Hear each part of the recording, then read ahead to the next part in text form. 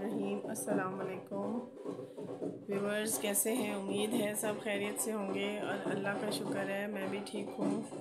लेकिन फ़िलहाल मैं ठीक नहीं हूँ क्योंकि मैं आई हूँ अपने अब्बू के घर। ये देखें जी, अब्बू की डेथ के बाद मैं पहली दफ़ा इधर आई हूँ। तो इधर आके जो मेरा हाल हुआ है, वो मुझे ही पता है कि मेरा क्या हाल हुआ है।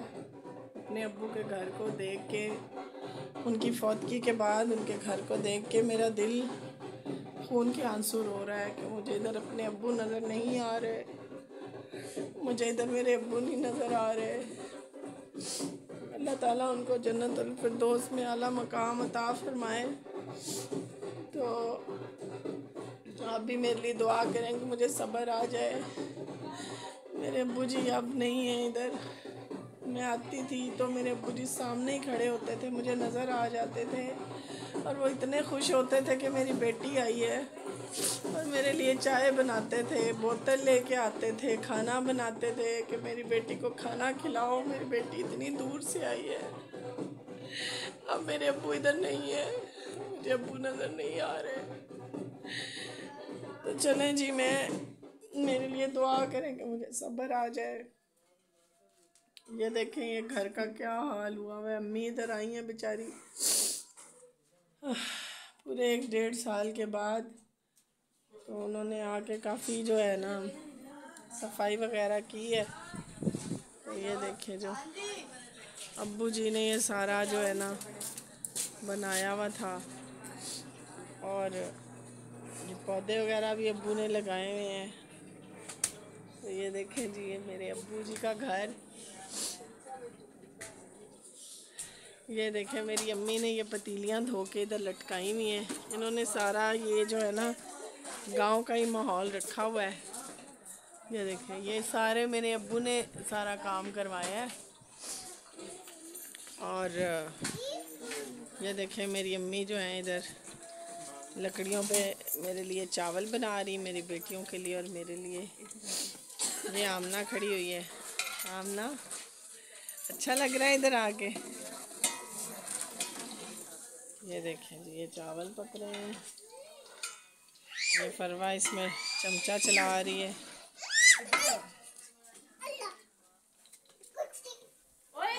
आए बुरी बात। ऐसे नहीं कहते। ये ये आपकी साइकिल है। राइब ऐसे नहीं ऐसे करो। राइब ये आपकी साइकिल है। दिखाओ। वाह ऊपर बैठ के दिखाओ। ऊपर बैठो।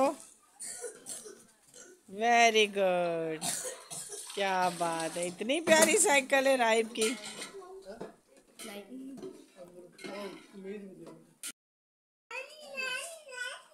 मेरा दिल जो है ना, मेरा दिल खून के आँसू रो रहा है इधर। मेरे अबू जी नहीं है। तो ये देखें जी। ये देखें जी ये अबू जी का कमरा और ये अबू जी का ही बिस्तर है। ये उन्हीं की चारपाई है जहाँ पे वो सोते थे। तो अस्सलाम वालेकुम माँ जी। वालेकुम अस्सलाम क्या हाल है बेटा? शुक्र अल्लाह का आप सुनाए ठीक हैं आप? गुजारा हो ही रहा बेटा। अब अबू जी के बगैर इधर रह के आपको कैसा लग रहा है? बहुत बुरा। बहुत बुरा लग रहा है ना उनकी याद आ रही है। कि इधर वो रहते थे। अकेले भी रह लेते थे वो इधर। वो तो काफ़ी देर अकेले रहे हाँ जी। इधर रहते थे हमारे। क्यों मैं बच्चों के पास थी ना। जी जी। बच्चे मेरे उधर थे जोड़े पुल में। हम्म। सदर की तरफ़। दुआ करें ना अल्लाह ताला उनको जन्नतुल फिरदौस में जगह दे। हर वक्त दुआ में तो करने हैं। और अल्लाह आपको सब्र दे। सबर तो अल्लाह अगले जहान ही देना इधर तो बेटा आ नहीं सकता। हाँ यादें बढ़िया ने अब आप क्या बना रही हैं?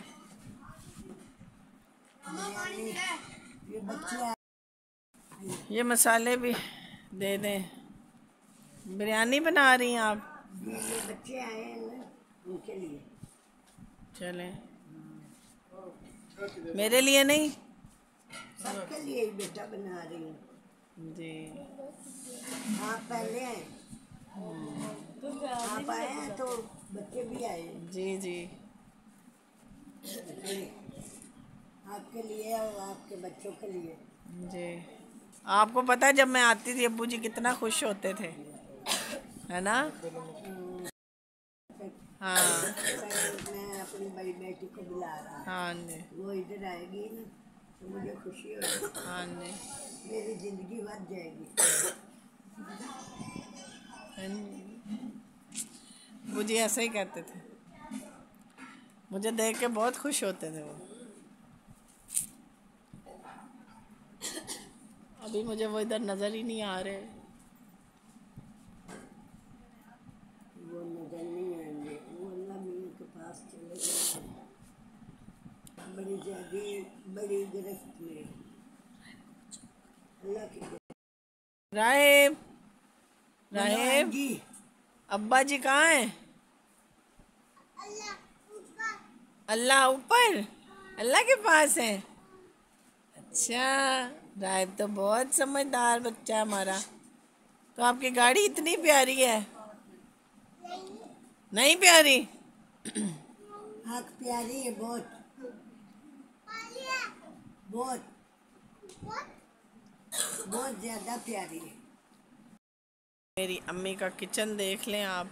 अम्मी ने घर जो है छोटा सा इस तरह से ये दोनों चार पहियाँ ऊपर नीचे रख के ऊपर बिस्तर रखे हुए हैं। की अलमारी है जिसमें मेरी अम्मी के अब्बू के कपड़े पड़े होते हैं। और ये सामने जो बिस्तर है ये अम्मी का है। और ये वाला जिधर मैं बैठी हूँ ये अब्बू का बिस्तर है। जी, मेरी अम्मी अबू की तस्वीर, इनकी जवानी की, ये देखिए। ये मेरी अम्मी है, ये अबू और ये मेरी बहन, बड़ी, जो एक साल मुझसे बड़ी थी, वो फौत हो गई, और ये मेरा रजब भाई। ये बिल्कुल अपने बेटे जैसा, राहिब जैसा। देखें कितनी प्यारी, मेरी अम्मी कितनी खूबसूरत है यहाँ पे, ये देखें और मेरे अबू माशाल्लाह। ये बड़ी यादगार तस्वीर है। यादगार तस्वीर है। ये देखें। पेटी है जो लोहे की पेटियाँ होती हैं। ये पेटी के अंदर इन्होंने सारा ये बिस्तर वगैरह रखे हुए हैं और ऊपर ये चीज़ें रखी हुई बर्तन वगैरह इस तरह से। ठीक है।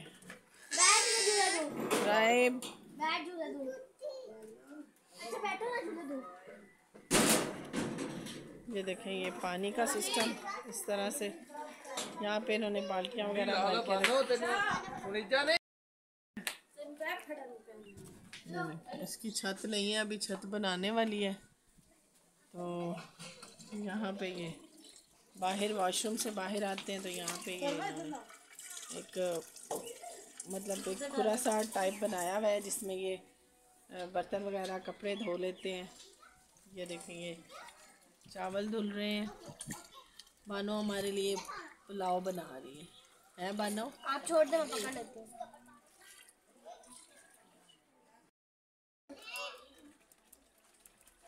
लकड़ी पे जो खाना पकता है ना उसका मज़ा ही कुछ अलग होता है। बहुत ही मज़े का बनता है। ये मेरी जो उधर पौधे रखे हुए थे ना, जहाँ पे अबू जी की डेथ हुई है, वहाँ से ये अम्मी ले आई थी इधर। तो अम्मी ने ये इधर लगा दी, ये देखे ना। नींबू में से फूल नींबू को लग रहे हैं।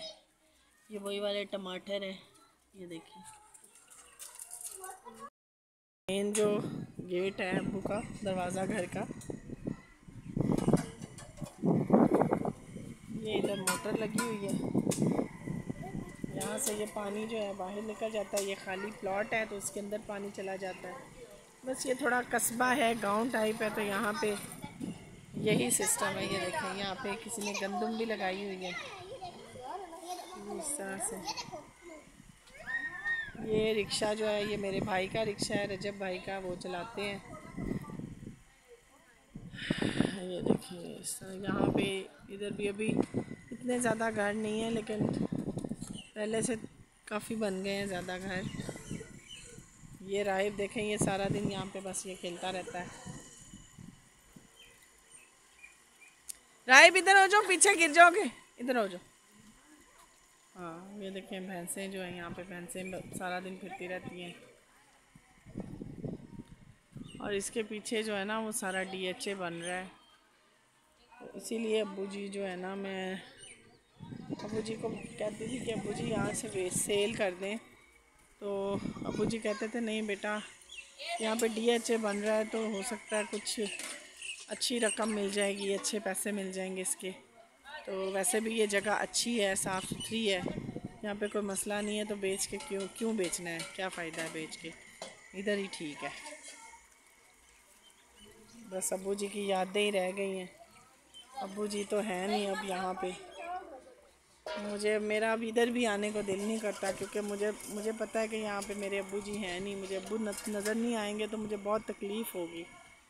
इसलिए मैं आज मेरी अम्मी को काफ़ी दिन हो गए इधर आए हुए, मेरे छोटे भाई को, रजब को और अम्मी को।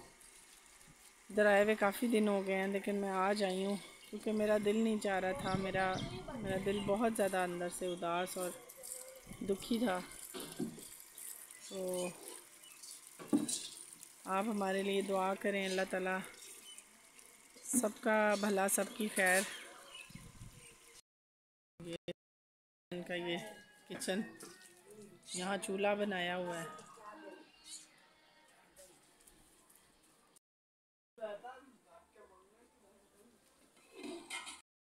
असलकुम प्यारे बहन भाइयों, उम्मीद है आप सब खैरियत से होंगे। और अल्लाह का शुक्र है, मैं भी अब कुछ बेहतर हूँ। इधर आई थी अबू के घर तो बहुत ही दिल को मेरे, बहुत ही तकलीफ़ हुई है और अल्लाह पाक सब्र देने वाला है और अल्लाह मुझे सब्र दे। और आप भी मेरे लिए दुआ कीजिएगा। तो पक रहे हैं चावल, अम्मी जी चावल बना रही हैं हमारे लिए, मेरी बच्चियों के लिए और मेरे लिए। तो बस अब हम थोड़ी देर इधर और रुकेंगे, चावल चावल खाएँगे, उसके बाद हम वापस घर चले जाएँगे। बेटी की तबीयत ख़राब थी, उसको डॉक्टर पे लेके आई थी तो मैंने सोचा चलो अम्मी के, अम्मी को भी मिल लेती हूँ और अब्बू के घर को भी देख लेती हूँ, जहाँ मेरे अबू जी रहते थे। तो मैंने सारा आपको दिखाया। तो काइंडली मेरे वीडियो को पूरा वॉच कीजिएगा और मेरे चैनल को लाइक शेयर सब्सक्राइब ज़रूर कीजिएगा। ओके जी दुआ में याद रखिएगा। अल्लाह हाफिज़।